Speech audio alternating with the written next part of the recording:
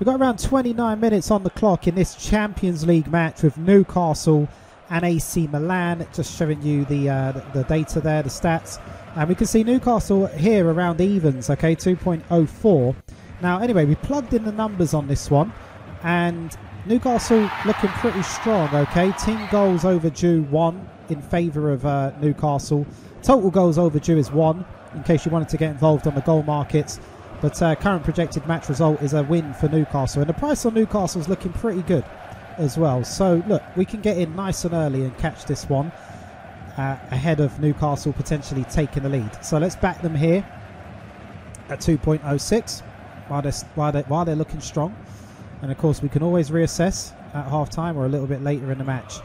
Okay, so anyway, from here, we're looking for Newcastle to take the lead. Let's see what happens. Nil nil, 30 minutes on the clock.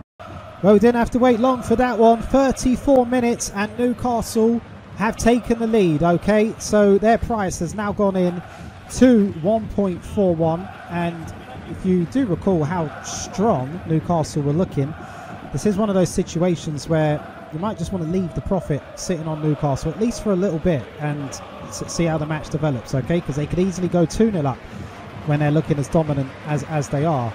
So you can see the cash out. We could lock in ninety pounds across all the all the outcomes, but it's a significant extra profit just leaving it on Newcastle. So look, obviously beginner football traders do tend to like to just cash out and lock it in and move on. However, when you've got the XG in your favour in such a way, well, yeah, there's there's there's good indication that you might want to leave that profit on Newcastle. If they go two 0 up, then yeah, you, you could potentially lock in even more of that, or not even have to take any action if they're two 0 up. So anyway, th- those are all your options. But the important part is is that we use the XG to find the opportunity. We spotted it around was it five six minutes ago, and very quickly we produced the profit. Okay, won't always be as quick as this, but it does show you how effective the XG can be to at least make short-term predictions within these football matches, and that's all we we we care about really as football traders. The short term, that's, that's all that matters within the match, of course. So anyway, uh, Newcastle one, AC Milan nil. Very very quick profit, and you saw how we spotted the opportunity.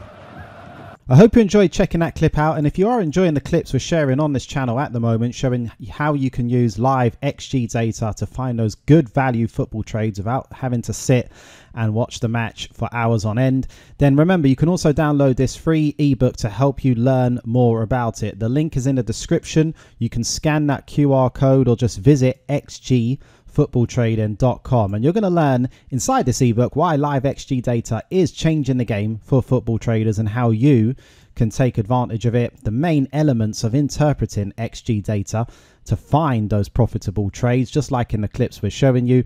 And bottom line, how to get started with implementing XG into your football trading and instantly upgrading your skill set and increasing your profits. As said, click the link in the description or visit xgfootballtrading.com or is or just scan that QR code that is on the screen. Fill out your best email address and we will send that book right to you.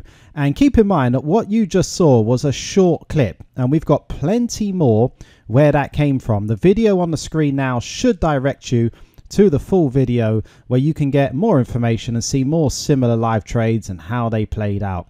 So go click on that video and we will see you in that next video or the next clip.